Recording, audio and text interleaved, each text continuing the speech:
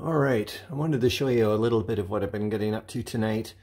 Um, yeah, I'm trying to figure out, well, you'll see in a minute, but anyways, I counted, if you count, and I don't know what, if like each square uh, e equals, like each spot equals one turn, I don't know yet.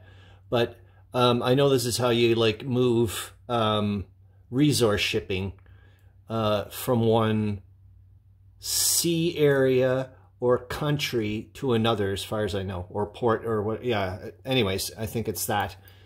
Uh, yes, it is.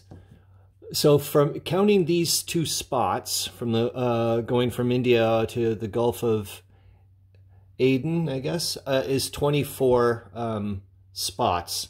So what I'm trying to figure out is, because obviously, like I, have mentioned before, uh, obvious it's going to be big for both sides, is to try to um, make sure the Suez Canal, well, for the Ottomans, it's closed off, and uh, for the Brits, that it remains open. Anyways, hold on. Yeah, so I'm staring at these maps, trying to figure out um, the distance, like relatively speaking, um, what would it take for, um, you know, if the Suez Canal is closed off, uh, how long it would take them to get to there? Like, what would that equate to? You know, I, I think it's going to be a heck of a lot more than 22 turns. So yeah, I'm using this one as well, just to kind of figure out what the heck's going on. Yeah, it's going to take a long time, but, oh, yeah, it's bloody hell as fun as, oh, it's, yeah, it's just, it just blows me away that I can now, um, well, on a side note, this is the type of stuff that I can, uh, it's much easier to think about, you know, before going to sleep, like, you know, just as I, like, nod off on the pillow or whatever. Uh, you know what I mean? It's this type of thought stuff is a lot easier rather than I find um, getting into like the operational bits uh, for my MIDI game. It's, you know, I could still do that, but this is like a much more grand strategic. I don't have to get, I just like, you know, do this little themey, I don't know, whatever. Just makes, it's nice. So I'll have to figure out, you know, there's a long, long way to go, but hold on. Yeah, and there's this bits here I just don't understand, like, how do we get to Basra from here? And I don't, there's a lot of, like, is it, I know there's some land stuff as well. It's a long way to go. The only other thing I've been up to is, hold on. I've just been, I know they're a little over the top for, because a lot of these things are probably just little towns and the points of interest, but I'm going to write them down and go and find out as much as I can, like little bits, like what were the population, whatever strategic areas, were they important or not? I, I, you know, I mean, um, they're on the map, maybe, like I said, just for, um, you know, um, descriptive bits to add you. But whatever, I, I, will say this, though, I'm glad I started doing it because some, it's just because of the fonts. I mean, okay, that one's not too bad. Wait until we get into the, towards the swamp. I had to, like, I'll practically use a freaking flashlight to find some of them. Um, like, I was not, you know, but some of these things are really important towns or cities or something. And you see how they can just disappear? Look, look at that one.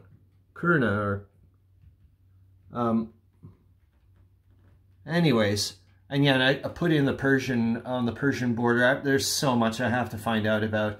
I don't know, whatever. Anyways, and these are the, um, I'm just using these until I do a different color whatever, for the uh, potential rail line things I think I was mentioning. And what I'm uh, thinking about at the moment is um, if, um, and it's always obviously just going to be single track and it's still going to be under the uh, Osmanli Harbi rules of um, um, uh, one-sixth movement. Um, you can only do, I think, three divisions instead of uh, six. I'll have to check again. And it's um, uh, one quarter movement for the other guys, uh, you know, for like headquarters and stuff like that, uh, as far as I know. And, um, you know, like I said, it's just new. What, anyways, so what I'm going to do is it's going to cost, it'll take one month per hex, and you always need to be towards like some kind of watery, or I just can't, I just can't wander off into the desert and start, you know, even though, but you'll, don't worry. I'm, I'm just, I'm trying to make it pseudo realistic and can always change, you know, it's ages away. But so I was thinking um, one turn um, per month, and it'll cost one supply point.